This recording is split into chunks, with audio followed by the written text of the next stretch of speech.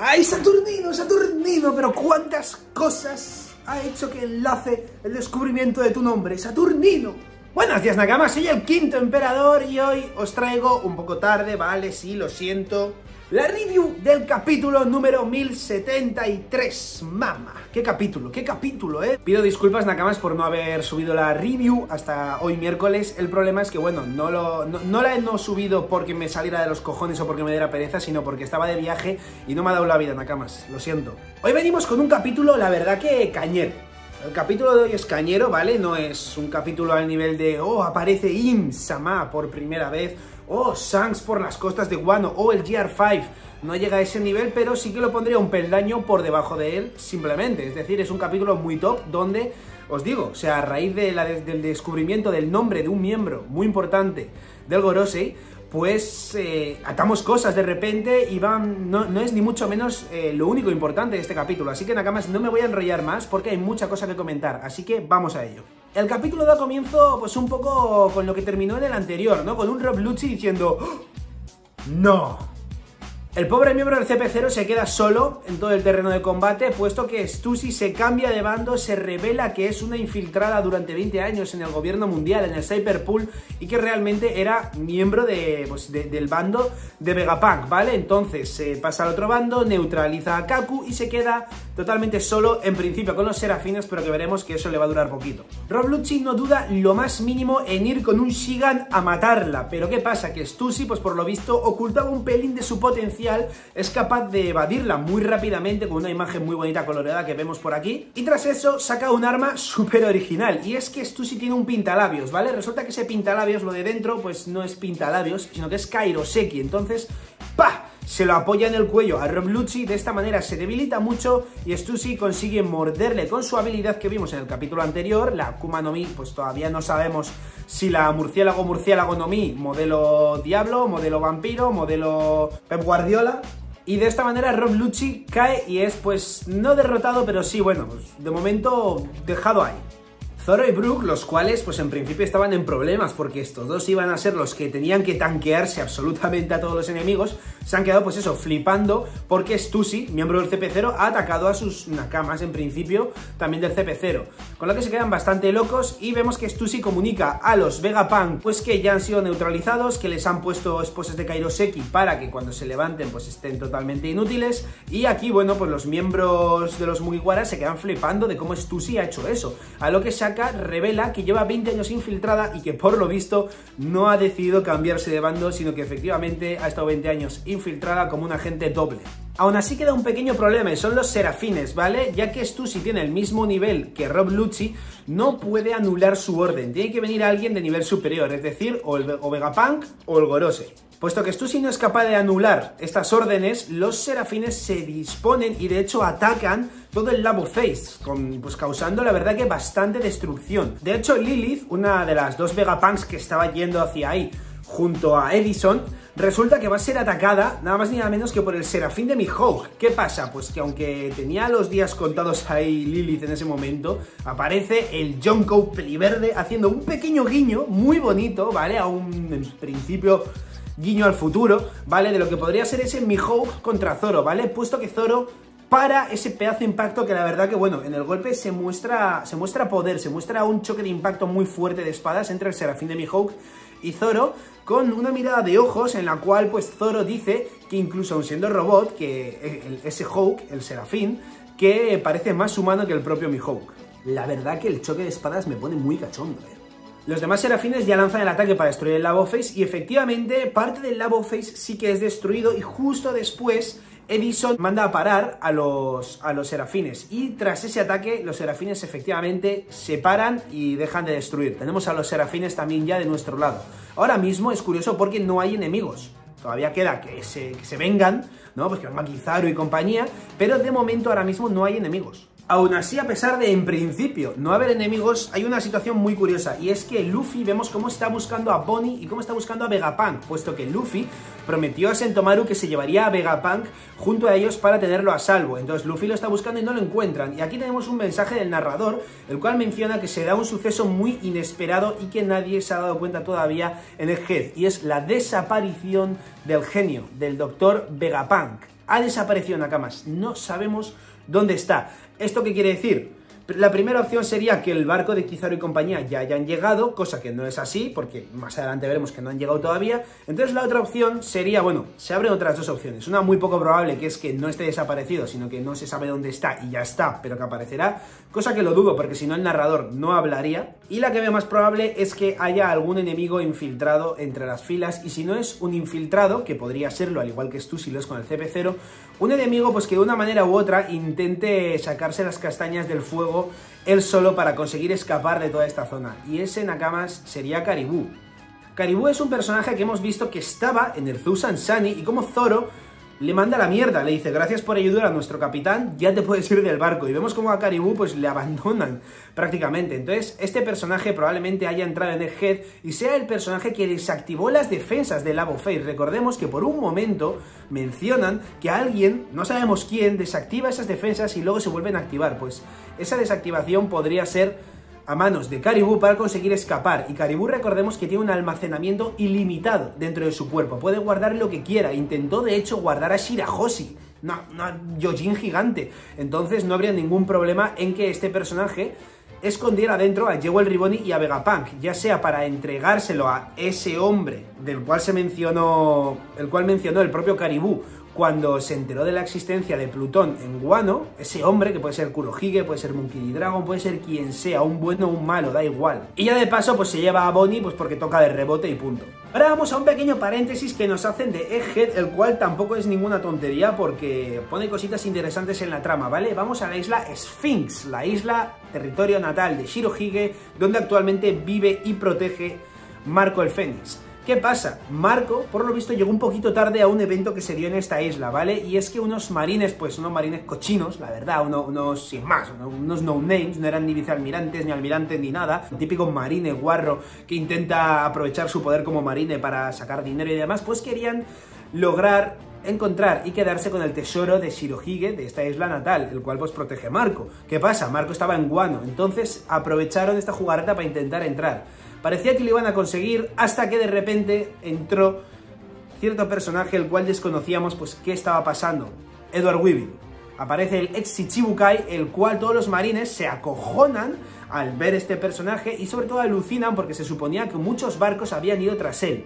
Pues bueno, nos da a entender que esos barcos, caput, que Edward Weevil, ahí donde lo vemos, aunque parezca una tontería, un monstruo de... o sea, un, monstruo, un personaje cutre, raro, tonto, sobre todo tonto, resulta que sí que debe tener esa fuerza que creemos que tiene. A todo esto, Weevil, el cual, bueno, pues ya va apuntando un poco la identidad de este personaje y qué es, si realmente o no es el hijo de Shirohige. Lo hablamos ahora tras esto que, que viene ahora, y es que, bueno, pues Marco le da un poco de pena no haber estado en esta situación, pero se alegra de que todo fuera bien. Y de repente vemos que está Miss Buckingham, Nakamas. Miss Buckingham, bueno, Miss Bucky, no Miss Buckingham, Miss Buckingham, ¿vale?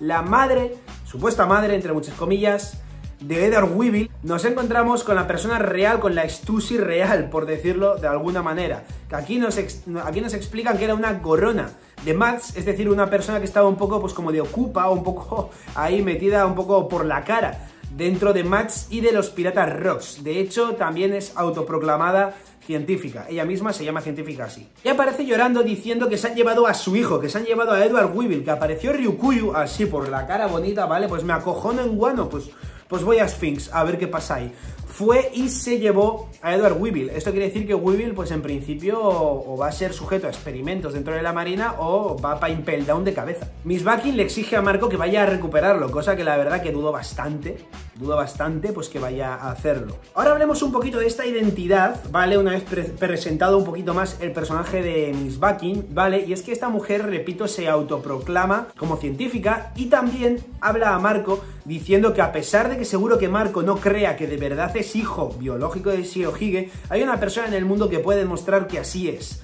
Y esa persona es el doctor Vegapunk. Nos lo explican clarísimamente y con todas las señales. Entonces, claro, que por un lado una científica diga que su hijo es hijo de Shirohige y por otro lado que la única persona que pueda justificarlo es Vegapunk, otro científico, aquí empieza a oler un poco raro, ¿vale? ¿Y qué pasa? En el capítulo anterior se nos presentó el tema de los clones, ¿vale? Vimos que Stussy es la clon de Miss Bucky.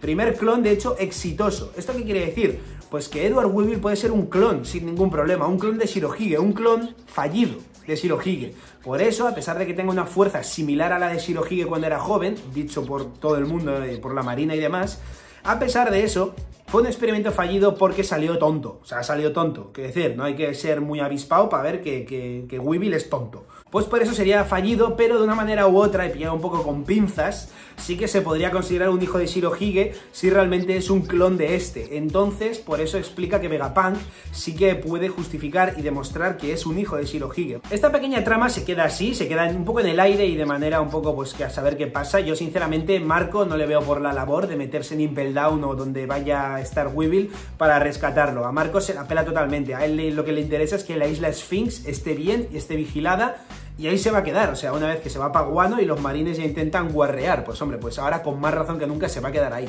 Aún así es un tema bastante interesante eso de que Ryukuyu se haya llevado a Weevil, por un lado porque demuestra que Ryukuyu es más fuerte que Weevil, eso para empezar, o por lo menos más inteligente. La cosa, ahí termina y vamos a los barcos de la marina, Nakamas, esos barcos que se dirigían y se siguen dirigiendo hacia Egghead con Kizaru. Y vemos ya de primera imagen, vemos algo que llama la atención y es que no solamente hay barcos de la Marina, hay barcos del gobierno mundial. Y vamos a ver que quienes están ahí dentro, Nakamas, no son miembros del CP0, que puede ser que también, pero el protagonista no es el CP0 en ese barco. Nakamas, si te está gustando el vídeo y la review, me encantaría pedirte por favor que vayas ahí debajo y le dieras al botoncito de suscribirte para ayudarme a seguir creciendo. Vemos a Kizaru hablando con una persona y preguntando sobre el Dr. Vegapunk, que si acaso lo conoce y ha estado alguna vez con él. Y esta persona menciona que ha estado una vez con él hace mucho tiempo y que la verdad que la situación se ha tornado de una manera bastante desagradable y que por lo visto no le agrada a esta persona. Esta persona, Nakamas, es nada más ni nada menos que un miembro del Gorosei. ¡Saturnino! Este personaje al cual tenéis aquí en pantalla nos descubren su nombre. Es nada más ni nada menos que Sanjay García Saturn, ¿vale? O Saturno, básicamente. O sea, un, un, apellido de un puto planeta. Jay García nos la pela un poco. El Saturno no tanto. Y esto es muy loco, Nakamas, porque estamos viendo que el Gorosei, uno por lo menos de los miembros, además de que se separan, que ya es algo interesante y que no están siempre juntos por lo visto, sino que se separan, además de eso, estamos viendo, Nakamas, que está moviéndose y saliendo de Marilloa, está yendo a un lugar peligroso, porque ahí todo el mundo sabe, en la Marina y en el gobierno, que está Luffy y compañía. Y vemos que Saturno está yendo hacia ellos. Esto es importante, esto quiere decir que tiene confianza en sí mismo y probablemente que tenga capacidad de combate, porque no va a depender únicamente de Kizaru. Pero bueno, lo que más loco nos deja a todos, obviamente, es su nombre, ¿no? La parte de Saturno. Y es que esto es muy interesante, ¿vale? Y bueno, una ventaja, con una gran ventaja con la que cuentan los japoneses es que ellos entienden de manera literal su, los nombres de los personajes y los apodos a entidades y demás. ¿Y qué pasa? El Gorosei siempre se ha traducido como las cinco estrellas ancianas. Vale, ¿cuál es el problema? Que se ha traducido así porque alguien lo eligió así y así se ha quedado. Sin embargo, la palabra Sei significa dos cosas. Significa estrella y significa planeta. ¿Vale? Es decir, significan las dos cosas. Lo que pasa es que, bueno, pues se quedó la interpretación de estrella porque quedaba más bonito y ya está. Pero también significa planetas. Y claro, si tú, como japonés, ves que se te presentan a los cinco planetas ancianos y ves que existen tres armas ancestrales, las cuales sus nombres están basados en planetas como son Plutón, Urano y Poseidón barra Neptuno, pues dices, joder, estos tres planetas y luego los cinco planetas antiguos y luego está encima el dios del sol, Luffy, Nika, Sol, ¿vale? El sistema solar y esas cositas, pues ya dices, coño, encajan cosas, pero nosotros, como no sabemos japonés, pues nos jodemos y hasta que no viene alguien y nos dice, hey, este tío se llama Saturno, dices, coño, entonces los otros son su puta madre, Mercurio, Marte, Júpiter, ule, ule, ule. Y esto pues creo que ya es más blanco y en botella leche, o sea, y más, más imposible no puede estar de claro en que, bueno, pues que los otros cuatro miembros del Gorosei también tendrán otros cuatro planetas, ¿vale? Repito, Marte, Venus, Júpiter y... y...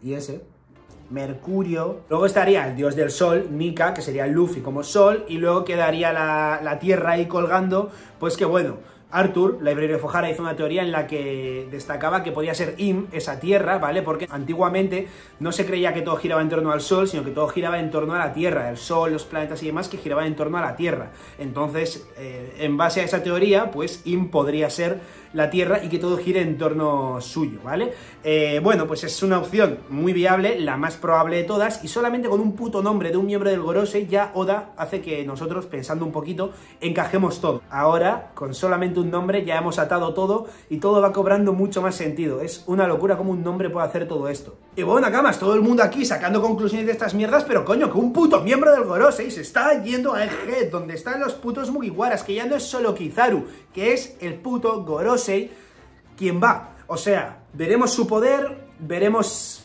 un cruce de miradas entre Luffy y Saturno, habrá algo, habrá conversación, acción, yo no creo que, Saturno decida mover un dedo, ¿vale? O sea, yo creo que solamente mirará y que Oda nos mantendrá un poco de hype en este tema de, de acción, digamos, respecto al Gorosei y si tienen poderes o no, creo que se quedará un poco en el aire, pero alguna demostración de poder entre Kizaru y algún Mugiwara, ya sea Luffy, Zoro, Sanji o quien sea, sí que creo que puede haber y eso puede estar muy interesante. Aún así, yo creo que yo creo que lo que se dirige a Egghead es peor que una Buster Call, porque Kizaru, un almirante, suelen ir los vicealmirantes, eso para empezar, pero va un almirante y él mismo hace unos capítulos mandó que se movieran todos los buques de guerra disponibles hacia Egghead, es decir, no va una Buster Call, va una Meta Buster Call, ¿vale? Entonces, Egghead, Nakamas, aunque los Mugis puedan escapar de ahí, Egghead va a ser destruido y toda la ciencia que Vegapunk ha conseguido generar, descubrir y crear ahí, todo va a ser destruido. Todos los avances de Vegapunk se van a ir a la mierda.